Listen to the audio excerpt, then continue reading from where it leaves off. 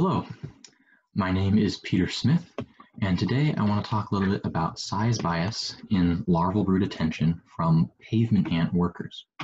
You can see these pavement ants here, and I'm basically looking at how they are attending to their brood when the brood is of a different size. As far as study system goes, my model organism was the pavement ant, also known as Tetramorium caespitum. Um, this is actually more of a European variety. In North America, it might be known as Tetramorium immigrans, but um, that's going beyond the scope of my experiment. Here you can see from the literature, here are some key morphological details to look for. You can clearly see similarities between their literature ant and my ant on the right. Um, this is just the sterile female worker cast, but that's all I ever saw. Um, I think higher caste larvae are kept deeper in the nest. So let's point out some details here. It might be easier to count on my um, ant that you see on the right. They have 12 segments to their antennae. You can pause the video and count if you want, but trust me, they're 12. They also have these longitudinal grooves all throughout the body. Um, but some more obvious things here, C, they labeled C, these spines, these propodeal spines are very obvious, as well as this waist segment called the petiole is made of these two distinctively shaped pieces um, and on this piece, they have this little notch called the anteroventral tooth.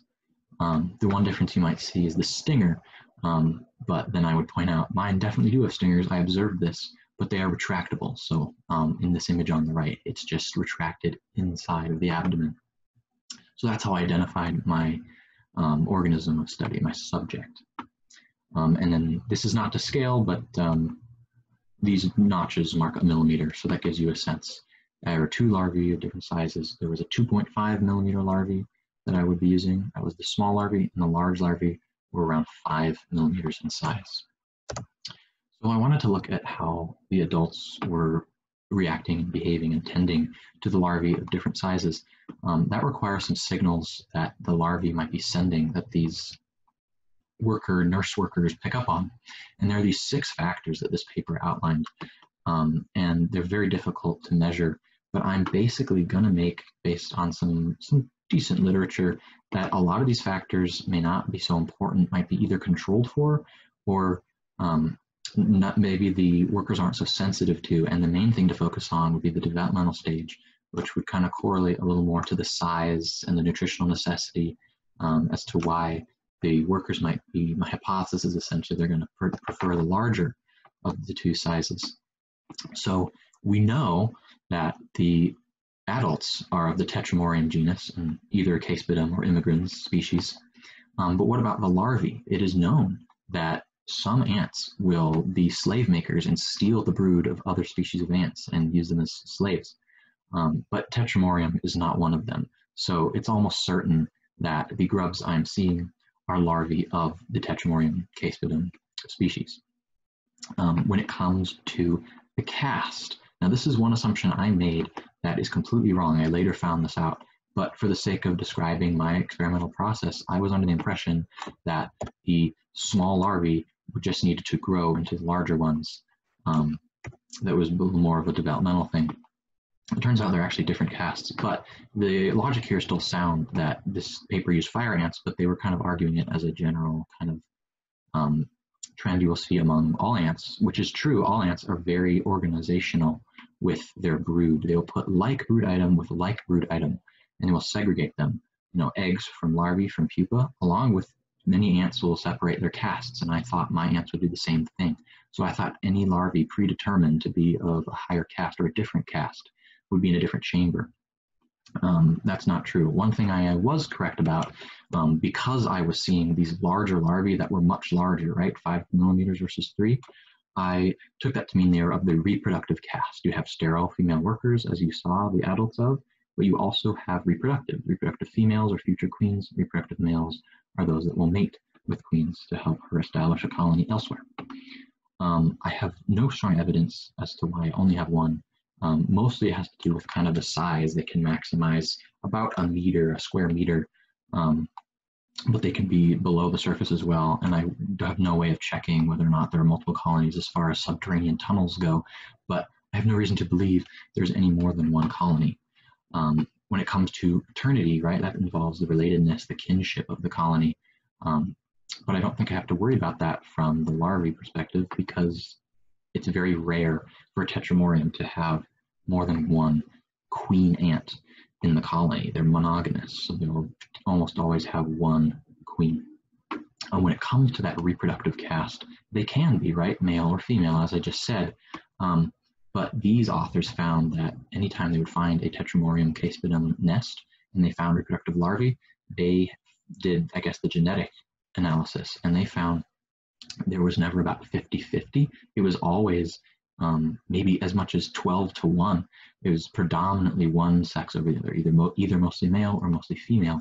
But and that is the, because it's so uneven in that distribution, I'm thinking that the workers wouldn't be as sensitive to the sex, even though it can be different. Um, so that leaves the developmental stage. And so basically, I'm thinking that the larvae, which are larger, um, are more developed. They require a lot more care because they need more frequent and longer feeding times, as well as be more effort to carry them. Um, there's even some papers about how the larvae can secrete some fluid that the workers will consume. And it, the larger larvae are likely going to have greater volumes of that fluid. So again, another reason why you might prefer the large larvae. So for those reasons, and as I described before, but let's state it formally, my hypothesis is that pavement ant workers are going to be biased towards the larger five millimeter larvae, and they will give more attendance to the larger larvae than the two and a half millimeter larvae. So let's go into the methods. How did I test this? Well, I would collect 10 of those adult sterile female worker ants, and I would collect them using this aspirator. You can suck them up in a vacuum. Um, it's much more likely to keep them alive than using tweezers. They're so small, it'd be very easy to crush. So that's what I used. I would collect 10 of them and put them in this arena. This arena consists of a petri dish um, with some dirt to simulate their environment and I got this pane of glass from an old picture frame um, over top to keep them inside so they can't escape. I put 10 of those adult larvae in this arena along, uh, I said adult larvae, adult ants, um, along with two larvae. And I took a video, you can see this video camera.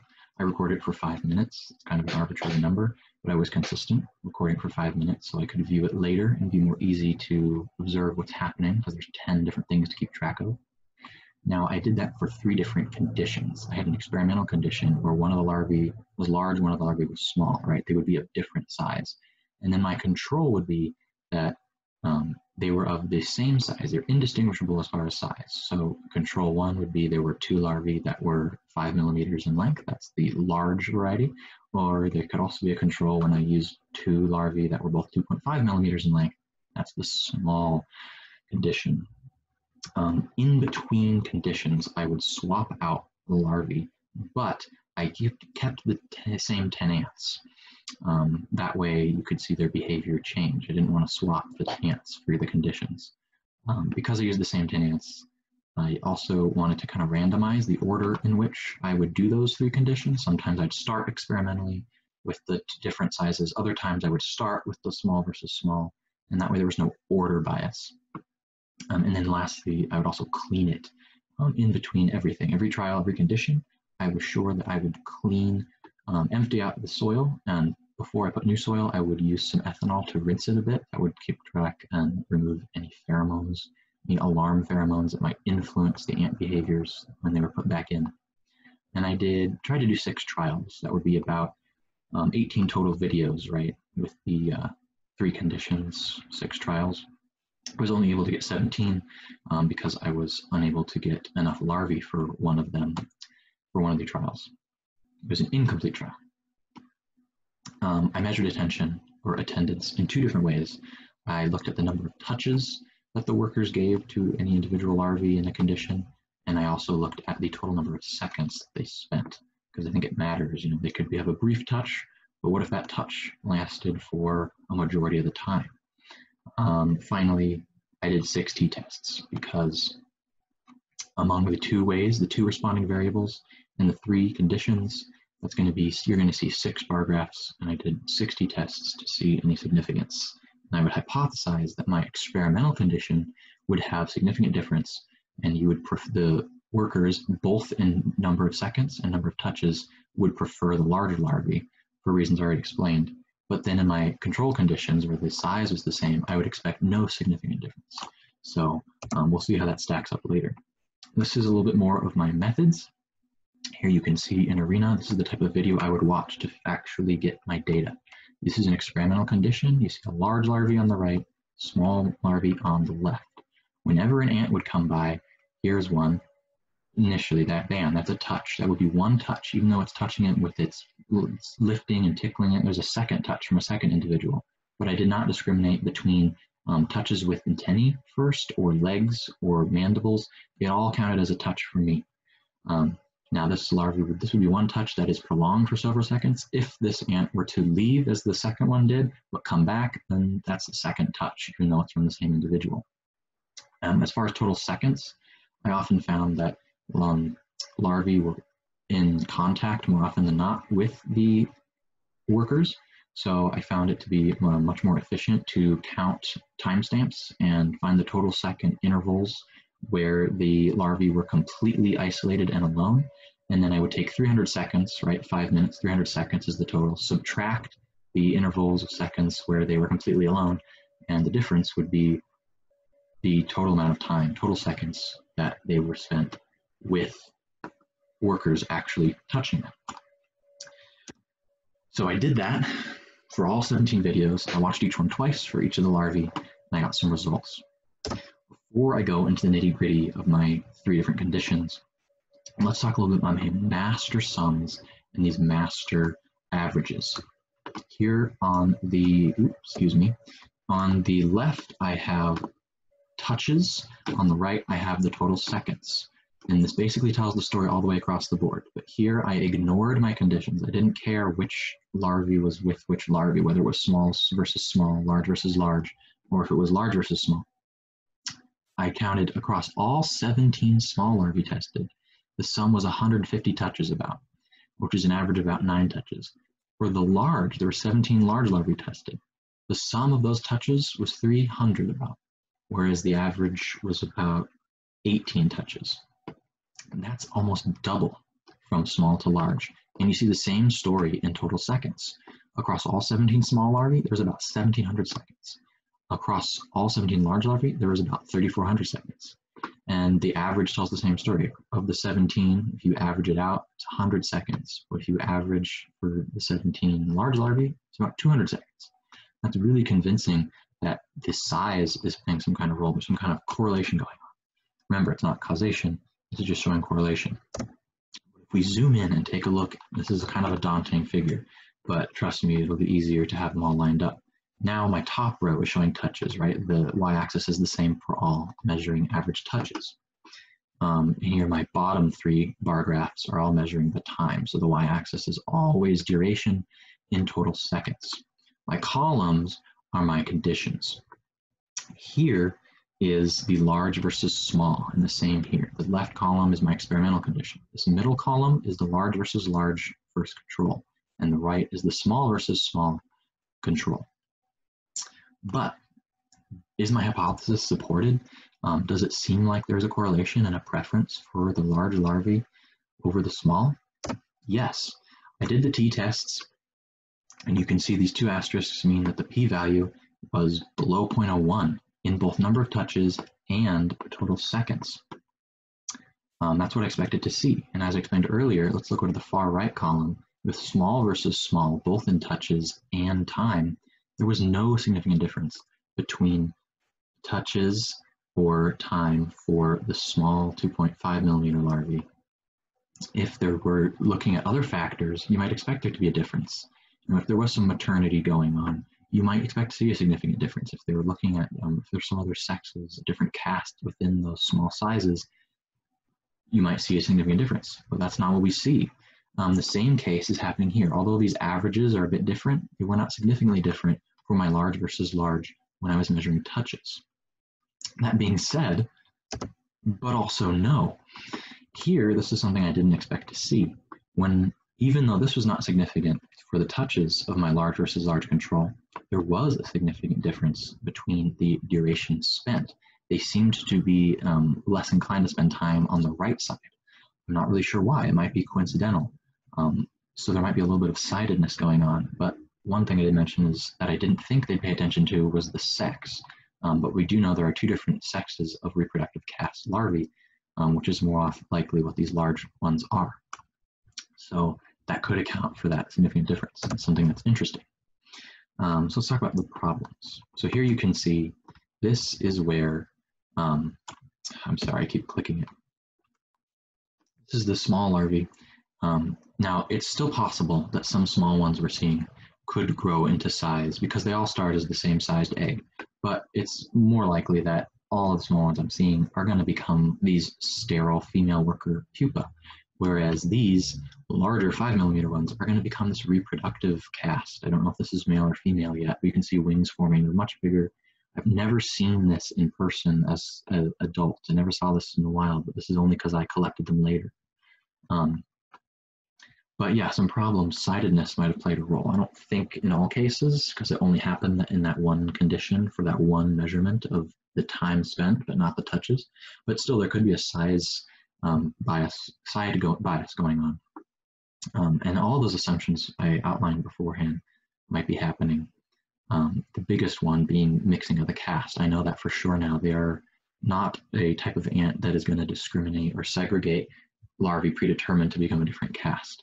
They kept large and small together, sterile workers and reproductives together, um, which means you know the, the, that would play a role. But also the sex of these reproductives could also be accounting because if you look over here, there's never a significance between sterile workers because they're always going to be female. But when they are larger and reproductive, you might see a significant difference. And that's because you can have some that would be female and some would be male. Here are some uh, other three factors. I never did acclimation time. I put my 10 ants in and started recording right away.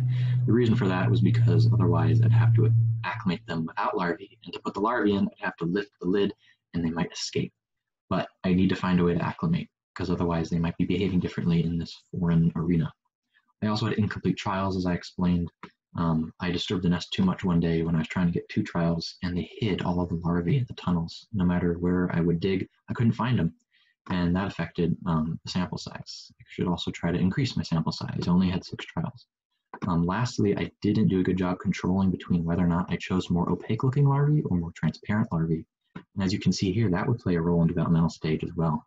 The opaque larvae are closer to be becoming um, uh, more dormant and in a stasis mode to be pupa, where they may not need as much attendance. They don't need the food, whereas the transparent ones might need more and might need more attendance. And so that's something to look into controlling as well. So I'm about to run out of time here, but there's so many future directions to take this. Um, as I mentioned, sidedness. I should take, um, use the same larvae and the same 10 ants, do a trial and see if they preferred, say, the left side. And if I swap the larvae over, if I see them then start showing a preference for the right side, I know it's the and I use the same larvae, then I know they're, it's the larvae they're preferring. But if they still show a preference for the left side, that might mean that there's a side bias going on. That'd be a very simple experiment I could do. Something else to look at would be individual worker bias. Does one worker account for more touches than another? That would require, like, that would mean imply specialization. I'd have to look at um, anesthetizing ants, maybe painting them a different color to keep track, um, which I tried and would be very difficult with this ant species because they're so small. But I might be able to do that with maybe a genus Camponotus, a much larger tree-dwelling ant. Maybe you could put paint spots on. Um, this figure here outlines, this is the assumptions I was making of sender related. There's also colony related and receiver related. I'm not going to go over all of them, but the experience of the worker, the older they are, the more likely they are to be foraging workers, whereas the younger ones are more likely to be nurses. I would like a way to find that. Also, parasites can play a role. I definitely saw these Myrmecophilus genus um, ant-loving crickets they might also be affecting behavior and it would be a good, um, an interesting thing to look into whether or not their presence is affecting the worker behavior. Um, finally, that determining the sex of the larvae before testing them, of those reproductives, would be very important. And I need to do that without like destroying them, doing genetic results. So I found this great paper about a non-destructive method, and they looked at genital disc patterns. You could you could see it was very difficult and very hard to distinguish, but you could learn patterns. The problem was they didn't use my ant species, and it, their methods required them to know the difference beforehand before they could see the differences. If I were to become an expert on genital discs, maybe I could find out. So those are some future directions. Um, if you have any questions, uh, let me know. I'm really passionate about this. E email me or Canvas comment maybe. Um, here are my references. Otherwise, thank you for listening to my presentation and thanks for a great quarter. Bye.